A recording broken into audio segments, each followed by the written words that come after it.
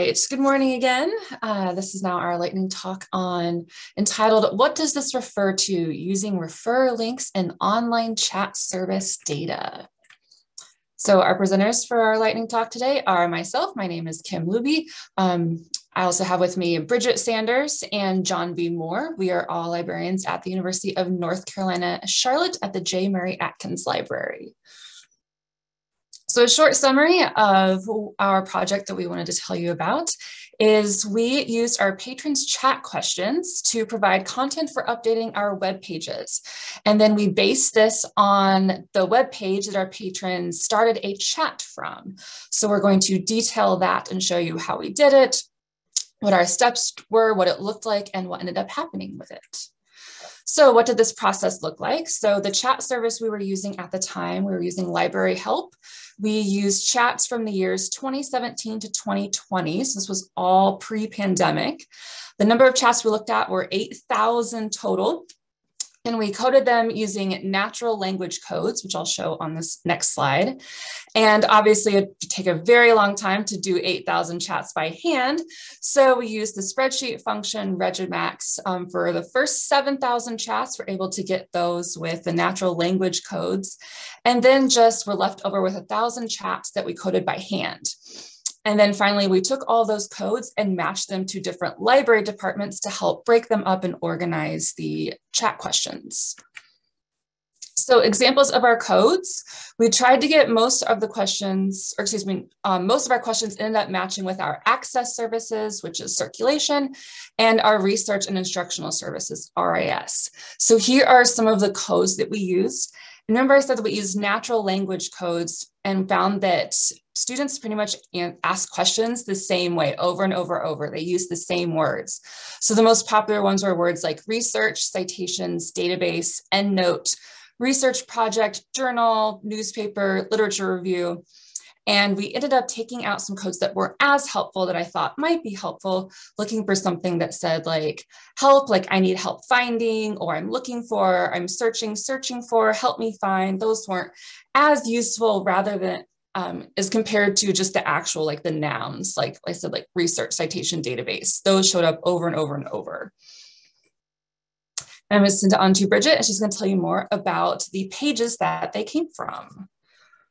Thanks, Kim. Um, for our analysis, we used what is known in the chat system as a referrer page.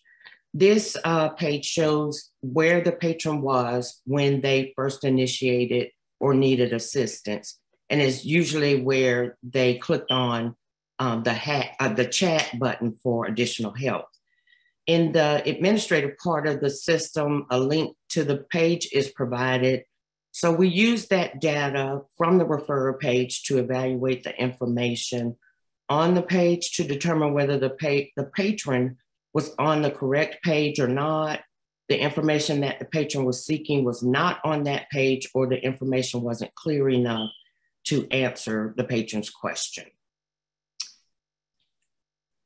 This is an example of what the referrer page looks like. It includes the referrer link um, that I mentioned, the date and time, and the text of the chat along with um, the patron's question.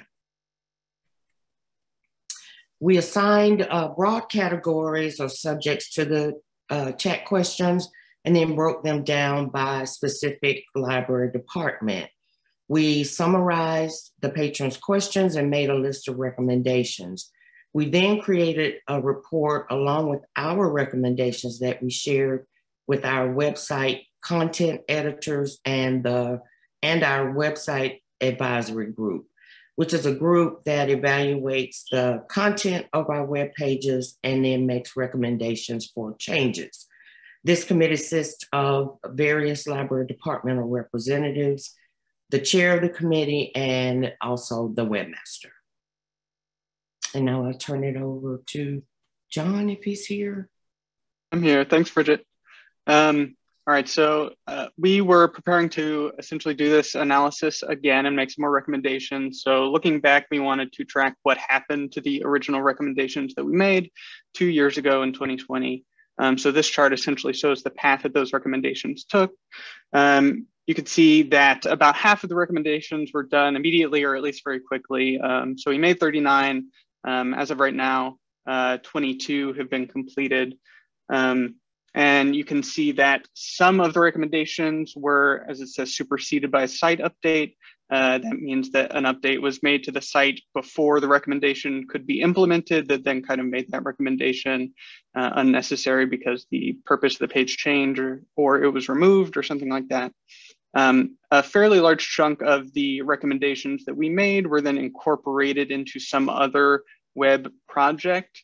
Um, and you can see if you compare uh, the original recommendations to those that were incorporated into another project, um, very few of the ones that ended up uh, incorporated were then implemented. Most of them got superseded. Uh, some of them ended up incomplete. And then um, only two of them were rejected after review by um, whatever the uh, other projects group uh, review uh, determined. So ultimately now just under one in five are incomplete. Obviously we would like to see all of them complete, um, whereas just over half um, after two years were completed. Uh, so just some takeaways from this project. Um, given the, well, I think the important thing is that um, this provides a practical application for some of the chat data that you may already have. Um, it gives you a, a, form of analysis and a, a method of making recommendations that you can apply really at any time to your website as long as your chat service is able to give you the information on refer uh, pages.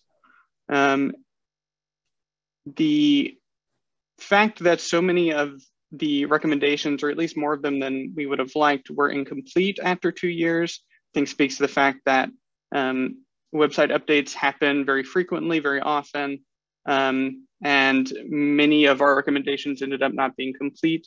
Um, so it's very important, I think, if you're going to do a chat analysis like this to prioritize speed. Um, and that's going to be something that we do uh, as we do this project again. Um, and to help you prioritize speed, I think um, you could use a smaller sample size of chats. So as Kim says, we analyzed a lot of chats for this, um, but most of the patterns that we noticed were evident even in a smaller sample size of the chats. I don't think you need to do everything. Um, and that allows you to be a little bit more agile if you're doing a project like this. Um, it also helps to have somebody in a, if your uh, organization has a web advisor group like we do, or if you just have somebody who manages the website, to have a connection with that committee or with that person um, as part of your analysis group uh, to kind of facilitate the path of recommendations to getting implemented quicker.